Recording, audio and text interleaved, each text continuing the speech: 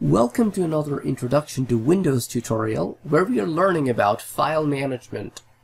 In this folder where we have created the two folders training and software so you can double click on a folder to open a folder. So now here I would like to create another folder and I will take the same approach that I taught you in the last tutorial that you can simply click on a new folder and that allows you to rename a folder. So now we would like to call this new folder work projects. Now all the folders are always alphabetically arranged and organized. What I would like to do is I would like to move some of the folders from the training folders into a work projects folder. Now this can be done in two different ways. One way would be that I open one window of training and one window of work projects and I can literally drag and drop my folders from training into work projects. Let me show you how that can be done. So let me open training. I'm going to push this on the side. I'm going to now open main folder again by double clicking on it and now I'm going to do work projects. Now notice work projects is empty and training is full.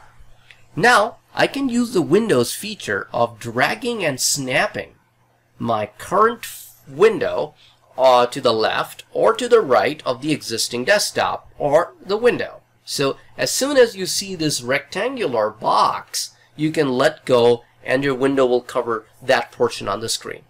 Then I can grab the other one from the title bar and I can go to the right and as soon as I see the snap grid, I can let go. So now I have both of them facing each other side by side.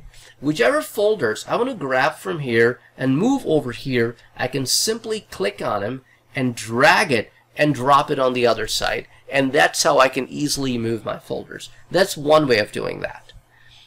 The other way to do that is that, let's say I want the Unity project folder to be moved, not copied, because copied means I want it to be in both places. I want it to be moved from the training folder into the work folder. So now I'm in the training folder, I'll right click on it and I'm going to choose an option to cut. Cut means I'm interested in moving, so for now, cut it. That means, if you notice, the icon color slightly changed. And now let me go back, because if I hit back, I can see both folders because they're both part of the main folder. So now I will going to double click on the work projects folder and here I can either right click and paste it or I can use the keyboard shortcut control V, V as in victory.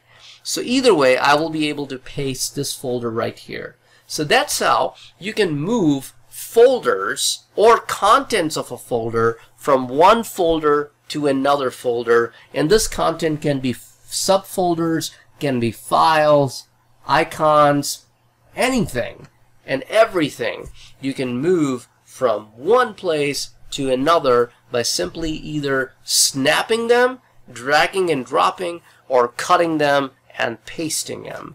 The keyboard shortcut for cutting is control X. What does that mean? You press and hold the control key while you press the X key and control V you press and hold the control key then you press the V then you let go the V and the control. So that's how you complete it. So anyway, hope you would have enjoyed this tutorial. Catch you in the next one. Thank you for watching.